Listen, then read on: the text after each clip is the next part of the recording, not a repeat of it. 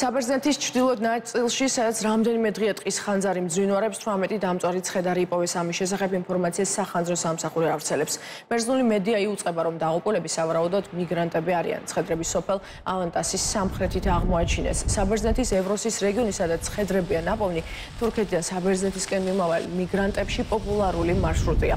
საბერძნეთში უკვე რამდენიმე დღეა ტყის ხანძარს ებრძვიან, ცეცხლი უახლოვდება ქალაქ ალექსანდროპოლის სტიქიის გამო, ქალაქის ავადმყოფობიდან პაციენტების ევაკუაცია გახდა აუცილებელი. ისინი ბოლნით ახლო მდებარე პორტში გადაიყვანეს ევაკუირებულებს შორის ახალშობილები და ინტენსიური თერაპიის განყოფილების პაციენტებიც არიან.